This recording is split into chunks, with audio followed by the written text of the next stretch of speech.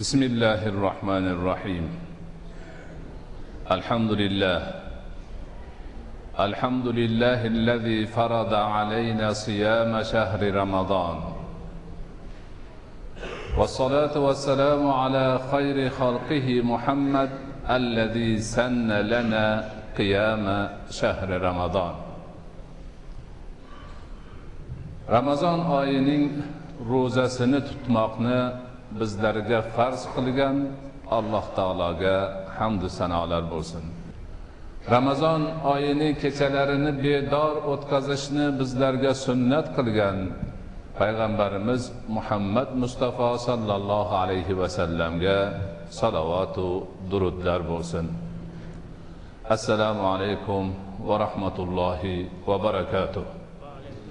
اللهم لا سهل إلا ما جعلته سهلا وإن شئت جعلت الحزن سهلا بقدرتك يا أرحم الراحمين aziz va muhtaram din qardoshlarimiz avvalo sizlarni barchalaringizni boshimizga soyabon bo'lib kelgan o'n ikki oyning sultoni bo'lgan oylarning ichida eng afzali bo'lgan muborak ramazon oyi bilan tabrik etishga ijozat bergaysiz. Alloh subhanahu va taolo bu oyni hammamiz uchun xayrli barakali bo'lishini nasib etsin. Bu oyni kunduzlarini ro'zalarini mukammal tutib kechalarida bedor bo'lib ibodat bilan o'tib ko'p ko'p savoblarni ajrlarni jamlab olishimizni nasib etgan bo'lsin. Alloh subhanahu va taolo siz bilan bizni o'zining oylari ichidagi eng ulug' oyga sog' salomat yetib kelishimizni nasib qilishini o'zi buyuk bir baxtimizdir. Endi ana shu baxtdan unumli foydalanib bu oyning ibodatini mukammal qilish harakatida bo'lishimiz kerak. Albatta mana shundoq ko'rkam bir masjidda tinchlikda omonlikda xotirjamlikda jamlanib ramazon oyi sharafiga allohning kalomi qur'oni karimni xatm qilishga bel bog'laganimizni o'zi ham buyuk bir baxtdir. Alloh o'zi mana shunday baxtlarga muyassar qilganiga shukurlar bo'lsin. Va bu kabi baxtlarimizni bardavom bo'lishini ziyoda bo'lishini nasib etgan bo'lsin. Albatta siz kabi qalblari iymonga to'la yuzlaridan ixlos ziyosi porlab turgan ko'zlaridan iymon nurlari chaqnab turgan ixlosli mo'min musulmonlar bilan uchrashib ramazon darslarini boshlashimizdan bag'oyat baxtiyormiz mamnunmiz. Alloh subhanahu va taologa shukronalar aytamiz. Hammamizga ma'lumki ramazon oyi islomning besh ruknidan biri bo'lgan ro'za tutish oyi hisoblanadi. Ramazon oyi qur'on oyi hisoblanadi.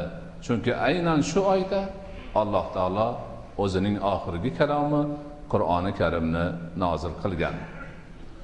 Ramazon oyi taqvo oyi hisoblanadi. Chunki alloh taolo qur'onda shuni o'zi aytib qo'ygan.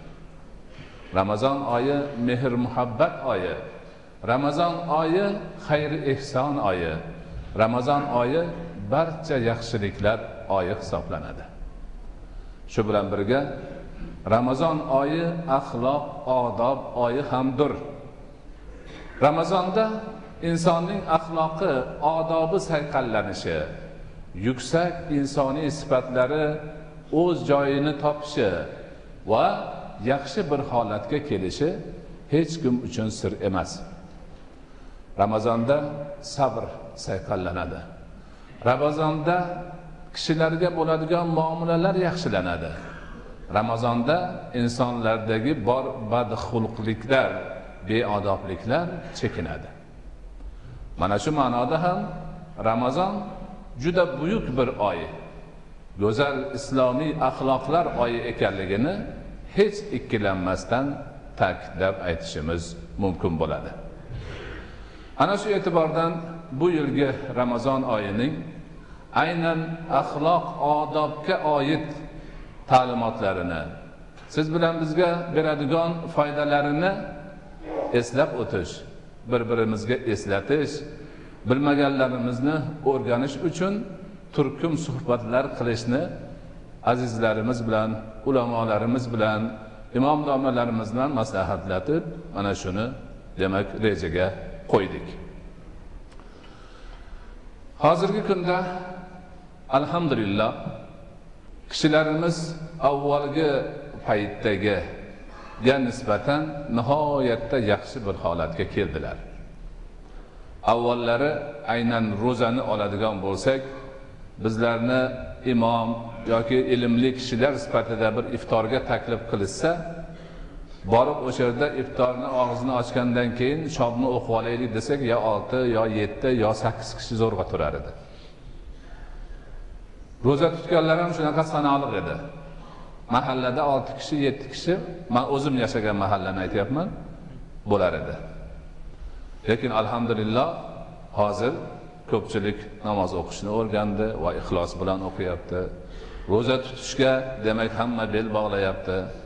Haj alhamdulillah yildan yilga yaxshi saviyaga chiqib adadlarimiz ko'payib boryapti. Shuningdek zakot beradiganlarimiz ham o'rganishib so'rashib qo'llaridan kelganicha bu ibodatni ham ado etishmoqda. Shunga o'xshagan boshqa holatlar ham bor. Bu juda ham yaxshi. Nihoyatda xursand qiladigan darajadagi bir holat. Lekin shu bilan birga ana shularni orasida tashvishli mulohazalar savollar ham bor. Ba'zi kishilarimiz nima uchun odamlar namoz o'qib turib yolg'on gapirishadi? degan savolni berishyapti. Ba'zi bir kishilar nima uchun hajga borib kelib turib yana odamlarni aldab mol mulkini olib qochadi odamlar. Sababi nima? deb so'rashyapti.